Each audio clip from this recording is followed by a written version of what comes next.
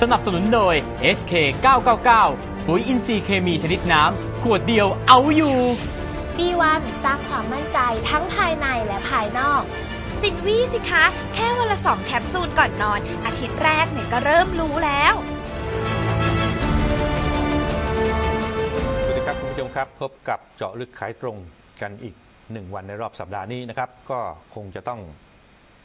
เกาะติดสถานการณ์กันอย่างใกล้ชิดนะครับ ทั้งในเรื่องการเมือง ทั้งในเรื่องของภาคธุรกิจขายตรงด้วยกันเองนะครับ ซึ่งอย่างไรเสียนะครับ ก็ยังจะต้องช่วยกันนะครับรักษาสถานภาพของภาคธุรกิจนี้นะครับ ให้ยืนหยัดต่อสู้ฟันฝ่าอุปสรรคนะครับ ไปให้ได้นะครับ ไม่ว่าจะบ้านเมืองจะมีปัญหาอย่างไรก็ตามนะครับ เพราะตรงนี้คือเป็นภาระซึ่งทางตัวผู้เจ้าของที่เป็นเจ้าของกิจการก็ดีคนที่มีสมาชิกนะครับ ในเครือข่ายที่จะต้องดูแลมากมายมหาศาลก็ดีนะครับ มันก็จะต้องหาแนวทางที่จะต้องช่วยกันพยุงนะครับ สถานะของกิจการของของตนเองนะครับให้ฝ่ามรสุมนี้ไปให้ได้นะครับ เพราะฉะนั้นตรงนี้ขายตรงเราก็จะเห็นว่ามันก็เริ่มมีการบางบริษัทก็เริ่มมีกิจกรรมต่างๆออกมานะครับ เพื่ออะไรเพื่อหนึ่งต้องการรักษาขวัญกำลังใจของคนที่ทำธุรกิจขายตรงนะครับ ราะว่าถ้าคนไปหมกมุ่นติดตามข่าวการเมืองมากๆนะครับมันอาจจะเครียด แล้วก็อาจจะรู้สึกท้อแท้ท้อถอยนะครับไม่ค่อยอยากจะออกไปทำกิจกรรมที่เคยทำมาอย่างที่เป็นอยู่ในเวลานี้นะครับ เพราะฉะนั้นมันก็จะต้องหาหนทางในการที่จะต้องกระตุ้นความสนใจกระตุ้นความรู้สึกนะครับของคนที่ยังทำงานนะครับในทำธุรกิจเครือข่ายอยู่นะครับ ให้มองว่านี่คือเป็นความฝันฝันร้ายนะครับ เมื่อถึงเวลามันก็จะกลับกลายมาเป็นดีเองนะครับ ก็ต้องช่วยกันนะครับให้กำลังใจซึ่งกันและกันก็ก่อนอื่นนะครับก็ต้องเรียนคุณผู้ชมว่าในส่วนของภาคธุรกิจขายตรงนะครับซึ่งได้คุยกันไว้เมื่อวานนี้นะครับเราก็จะเห็นความสำคัญนะครับในทางด้านเศรษฐกิจพอสมควร แต่ในอีกมุมหนึ่งถ้าจะมามองถึงปัญหาในเชิงโครงสร้างของสังคม ก็จะเห็นว่าเวลาเนี้ยการที่ม็อบ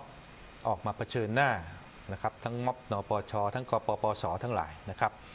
มันเป็นกระจกเงาสะท้อนนะครับความเหลื่อมล้ำทางสังคมได้ระดับหนึ่งนะครับ ทีนี้ความเหลื่อมล้ำทางสังคมนะครับ มันเป็นสภาวะซึ่งเกิดขึ้นจากไม่ได้เป็นใครทำแต่เป็นเป็นสภาวะที่เกิดขึ้นตามธรรมชาติ คนที่มีฐานะดีนะครับ แน่นอนเขาก็จะเรียกว่าคนร่ำรวยนะครับ ส่วนคนฐานะไม่ดีนะครับ ภาษาไทยก็จะเรียกว่าคนฐานะยากจนนะครับ เพราะฉะนั้นทุกอย่างมันเป็นเส้นแบ่งของมันโดยธรรมชาติอยู่แล้วนะครับ แต่ว่าใครที่จะก้าวไปสู่การเปลี่ยนแปลงสถานะของตนเองขึ้นมาจากคนชั้นระดับรากหญ้าเพื่อจะก้าวไปสู่คนชั้นกลาง หรือคนที่เรียกว่าชั้นสูงทั้งหลาย มันก็มีสิ่งที่ทุกคนก็อยากตะเกียกตะกายไปนะครับ เพราะฉะนั้นตรงนี้คือจุดเปลี่ยนทางสังคมนะครับ แล้วก็เป็นรอยร้าทางสังคมที่เกิดการแบ่งแยกเกิดขึ้น โดยคนกลาง นะครับซึ่งหมายถึงรัฐบาลก็จะถูกฝ่ายใดฝ่ายหนึ่ง มองว่าโน้มเอียงไปฝ่ายใดฝ่ายหนึ่งเกินไปนะครับ เพราะฉะนั้นเหตุที่ม็อบอินดี้หรือม็อบที่เกิดขึ้นในกรุงเทพมหานครเวลานี้ที่เกิดขึ้นจากกปปสเป็นแกนนำก็ดี หรือคอปทหรืออะไรต่างๆนะครับ มันก็จะมีกลุ่มคนชั้นกลางออกมาเยอะนะครับ ซึ่งจะเห็นได้ชัดว่าคนในกรุงเทพ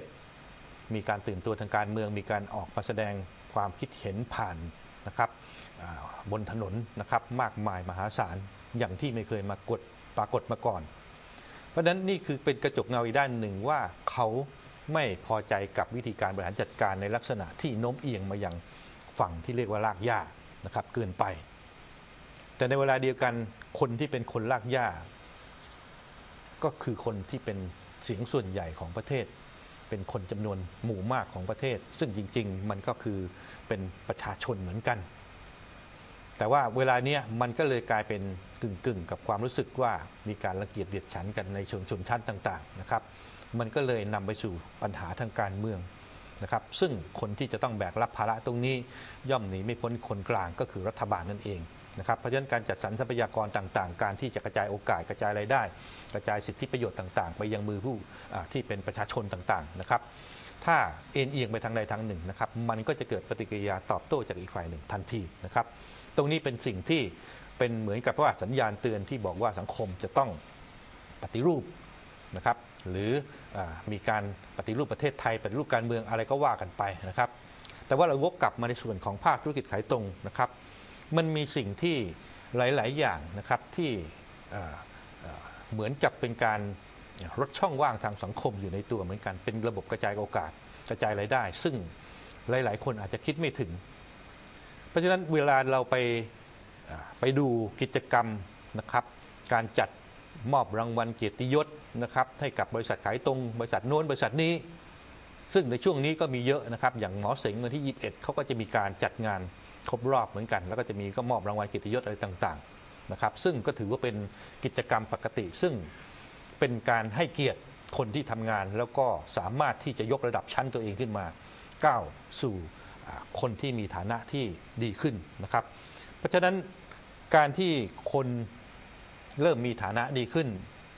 คนชั้นเรียกว่ารากหญ้าสามารถที่จะขยับขยายนะครับเลื่อนฐานะของตนเองขึ้นมา อาจจะเป็นคนชั้นกลางบ้างก็ได้ บางส่วนวันนี้ก็มีเยอะนะครับ คนที่จากเมื่อก่อนทำสวนทำไร่นะครับรายได้ก็พอเลี้ยงชีพบ้างไม่พอบ้าง แต่ว่าพอมาเข้าธุรกิจอ่าสู่ธุรกิจธุรกิจเครือข่ายขายตรงก็จะเห็นว่า เริ่มมีรายได้ดีฐานะดีขึ้นนะครับ มีรถเก๋งป้ายแดงนะครับขี่ได้ซื้อบ้านหลังโตๆนะครับให้กับครอบครัวได้ นี่คือจุดหนึ่งที่เราจะเห็นได้ชัดว่า ภาคธุรกิจขายตรง มีอิทธิพลมากพอสมควรในการที่จะลดช่องว่างทางสังคมนะครับเพื่อให้คนที่ด้อยโอกาสนะครับสามารถใช้โอกาสที่มีอยู่ในการที่จะสร้างฐานะสร้าง ความมั่งคั่งให้กับครอบครัวของตนเองนะครับเพราะฉะนั้นกระบวนการตรงนี้มันก็เป็นสิ่งหนึ่งที่เหมือนกับโครงสร้างของประเทศไทยนะครับ ซึ่งมันจะต้องหาหนทางทำอย่างไรถึงจะลดช่องว่างตรงนี้นะครับ แต่ว่าการที่ไปเอ็นเอียงในลักษณะออกนโยบายประชานิยม หรือนโยบายต่างๆ ที่เข้ามาโอบอุ้มจนเกินไปนะครับ บางครั้งมันก็ทำให้ภาคเาเรียกภาคประชาชนโดยรวม ซึ่งอาจจะเป็นคนละชนชั้นกันมองว่า ทำอะไรเกินเส้นล้ำเส้นเกินไปหรือเปล่า มากเกินไปไหมอะไรต่างๆ โดยเฉพาะอย่างยกตัวอย่าง โครงการที่เรียกว่านโยบายรับจำนำข้าว หลายคนมองว่าเงินงบประมาณที่จะเอามาใช้ในการสร้างระบบที่เรียกว่าโลจิสติกนะครับในการที่จะสร้างไทยให้เป็น hub ในเรื่องของการเป็นศูนย์กลางในเรื่องของภูมิภาคอาเซียนต้องใช้เงินประมาณ 2 ล้านล้านบาท นะครับสองล้านล้านบาทนี่ถัวเฉลี่ยก็ตกประมาณปีหนึ่งใช้แสนกว่าล้านนะครับประมาณแสนห้าถึงแสนเจ็ดเนื่องจากระยะเวลาของโครงการก็คือ 7 ปีเต็ม แต่เม็ดเงินตรงนี้เป็นเงินที่เอาไปใช้นอกงบประมาณ หมายความว่าเป็นเงินที่อาศัยเงินกู้ล้วนๆจากการที่รัฐจะต้องออกพันธบัตรจะต้องไปกู้หนี้สาธารณะต่างๆ ก็มา support ซึ่งเป็นภาระหนี้ที่คนไทยทุกคนจะต้องแบกรับร่วมกันนะครับเพราะฉะนั้นนี่ก็เป็นจุดหนึ่งที่หลายคนมองว่าถ้า เงินที่เกิดจากการเอาไปอุดนะครับหรือไปสนับสนุนโครงการรับจำนำข้าวปีหนึ่งสองแสนล้านถ้ากันตรงนี้เอามาใช้ประโยชน์ในระบบโลจิสติก โครงการ 2 ล้านล้านก็ไม่มีความจำเป็นจะต้องเดินหน้านะครับ เพราะว่างบประมาณที่เอาไปใช้ตรงนี้สามารถเอาไปใช้เพื่อรองรับกับการพัฒนาของประเทศได้ อันนี้ก็เป็นมุมมองของคนที่เรียกว่าคนชั้นสูง หรือคนชั้นกลาง ซึ่งมองว่าสังคมไม่จำเป็นจะต้อง เอาเงินไปถมหรือไปอุดหนุนนะครับหรือไปช่วยลดช่องว่าง ในเรื่องของรายได้ของภาคประชาชนที่เป็นระดับรากหญ้ามากจนเกินไปนะครับเป็นเหตุทำให้ที่ประเทศไทยอาจจะต้องมีภาระหนี้สาธารณะมากขึ้นนะครับเพราะฉะนั้นนี่ก็เป็นมุมมองหลากหลายนะครับ ซึ่งจริงๆ ถ้าโยงมากับขายตรงอีก มันก็จะเห็นได้ชัดว่าทุกคนนะครับที่เข้ามาสู่ธุรกิจขายตรงเวลานี้ เราอาจจะไม่เคยเห็นชาวนาแต่งสูตร ดูแล้วตลกนะครับ อีหลักอีเหลือยังไงก็บอกไม่ถูกนะครับ แต่บางครั้งถามว่าทำไมต้องให้เขาแต่งสูตร ก็เนื่องจากว่านี่คือเป็นรางวัลเกียรติยศนะครับ ซึ่งเขาสามารถพิชิตความฝันพิชิตความสำเร็จได้ในลักษณะที่เอ่อเหมือนกับเปลี่ยนชีวิตของเขาจากคนที่เป็นชั้นลากระดับลากหญ้ายกระดับฐานะของเขาขึ้นมาสู่ชนชั้นกลาง มันก็ไม่ใช่เรื่องแปลกที่จะเอาชาวนาใส่หม้อห้อม ถอดหม้อห้อมออกแล้วมาใส่สูตรนะครับเพราะฉะนั้นนี่ก็คือสิ่งหนึ่งที่เราชี้ให้เห็นว่าการเปลี่ยนแปลงทางสังคมนะครับ บางครั้งถ้าไม่จำเป็นต้องใช้อำนาจรัฐ หรือนโยบายประชานิยมจากภาครัฐมาช่วยยกระดับฐานะคนลากด้าอ่าลากย่าให้มาเป็นคนชั้นกลางได้ มันก็มีกระบวนการที่เราเห็นเนี่ยนะครับก็คือภาคธุรกิจเครือข่ายขายตรง ซึ่งมีปรากฏการณ์อย่างนี้เกิดขึ้นแล้วเยอะแยะมากมายนะครับ ถ้าหลาย ๆ คนสนใจนะครับ หรือทางภาครัฐไม่เคยเห็นก็ส่งเจ้าหน้าที่ไปสอบถามบริษัทต่าง ๆ ว่าในปีนี้มีคนรับรางวัลเกียรติยศ รับเงินล้านปีหนึ่งกี่คนกี่ร้อยคนกี่พันคนมีมากมายทีเดียวนะครับเอาละครับ เดี๋ยวเราพักสักครู่ยังมีเรื่องต้องคุยกันต่อครับ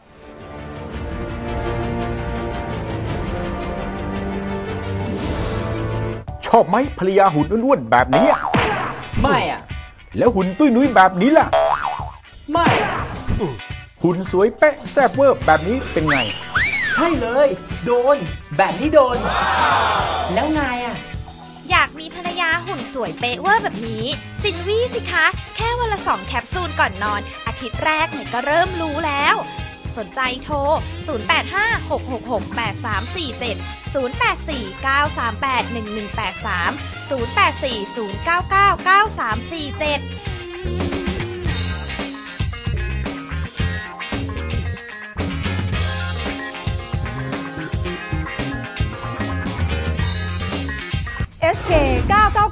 ปุ๋ย NC เคมีชนิดน้ำ ช่วยพืชทุกชนิดเจริญเติบโตได้ดียิ่งขึ้น ให้อาหารได้ทั้งทางรากและทางใบ ในขวดเดียวกัน ใช้ง่ายไม่มีผลข้างเคียง นี่คือนวัตกรรมทางการเกษตรแนวใหม่ ลดขั้นตอนการหว่านปุ๋ยเม็ดได้มากมาย ใช้ปุ๋ยน้ำ SK 999 ฉีดพ่นทางใบ ขวดเดียวเอาอยู่ สนใจโทร 02 105 6666 02 105 6677หนังสือพิมพ์ตลาดวิเคราะห์ฉบับใหม่ล่าสุด จ่อฟันบัตรเติมเงิน Top Up 2 Rich ฐานตัดต่อข้อมูลแอบอ้างภาครัฐหากิน เศรษฐกิจการเมืองตึงเครียด ความเชื่อมั่นเอเชียสั่นคลอน เปิดบันทึกสมุดเครือข่าย ปี 2556 ดาวเงินล้านเกิดพึ่บ รวมช็อตเด็ดขายตรงปี 56 ข่าวเด่นประเด็นร้อนฮอตทั้งปี ฝากกระแสวิกฤตเศรษฐกิจเพือกสุดท้าย ลุ้นมอเตอร์เอ็กซ์โปกระตุก GDP ตลาดสุขภาพความงามยังระอุ วันเปิด AEC ไม่แยกค่ารักษาไทยเทศ ติดตามหนังสือพิมพ์ตลาดวิเคราะห์ฉบับใหม่ล่าสุดได้ทุกแผงทั่วประเทศเลยนะครับ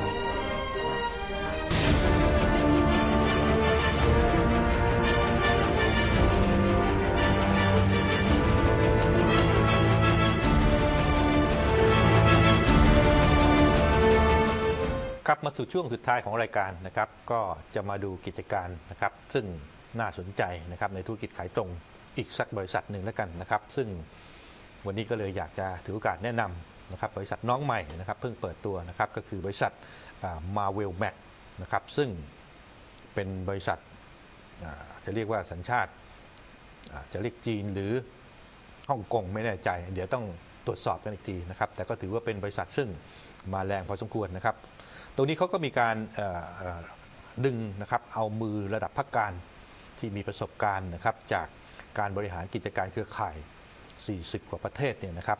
เอามารวมนะครับเป็นกลุ่มเดียวกันนะครับ โดยเฉพาะคุณที่คนที่เป็นแม่ทัพใหญ่นะครับสำหรับกิจการนี้นะครับก็คือคุณไมเคิลจางนะครับ ก็เตรียมที่จะลุกตลาดเครือข่ายเมืองไทย